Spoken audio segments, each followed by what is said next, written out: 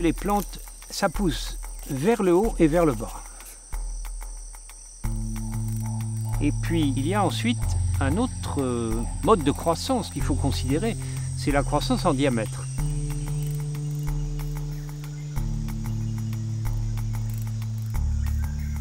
Les arbres, pour pousser, il leur faut des choses extraordinairement triviales.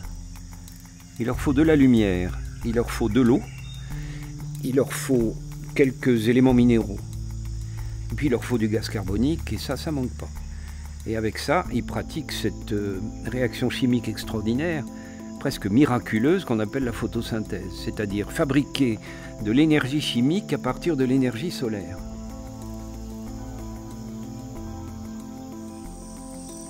Comment pousse une plante?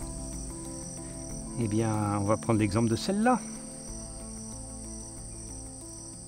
Il faut d'abord dire que ça a commencé par une graine, n'est-ce pas?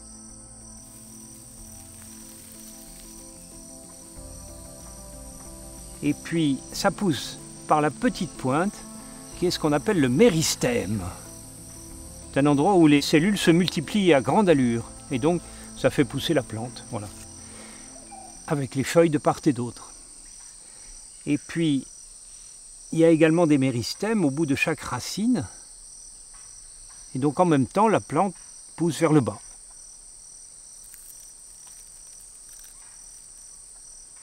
Imaginons maintenant que notre petite plante soit devenue un arbre. Il y a ensuite la croissance en diamètre.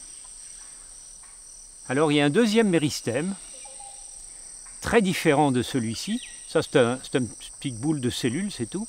Il y a un deuxième méristème sous forme d'un cylindre de cellules qui entoure la tige, mais pas en surface, hein. c'est sous, sous la partie morte de l'écorce. Et ce cylindre n'arrête pas de produire de nouvelles cellules. C'est ce qu'on appelle le cambium.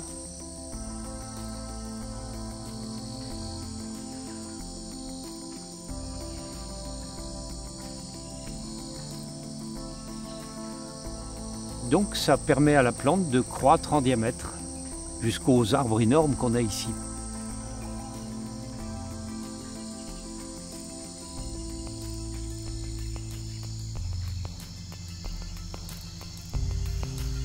Alors j'aimerais mettre euh, maintenant en scène le Moabi.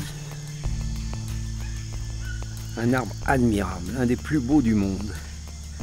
En tout cas le plus grand arbre d'Afrique. Il atteint 70 mètres sans problème.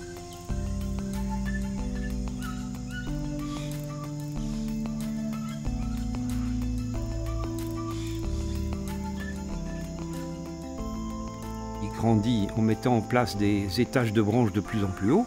Et puis ça finit par dépasser le toit de la forêt. Et c'est ça qui fait l'énorme couronne que nous voyons.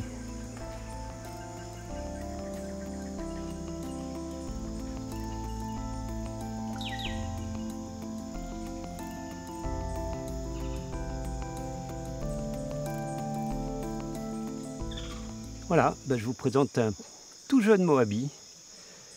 Je ne suis pas absolument sûr, mais je lui donnerai deux ans à supposer qu'on le laisse tranquille, eh bien voilà, cet arbre il est parti pour une dizaine de siècles.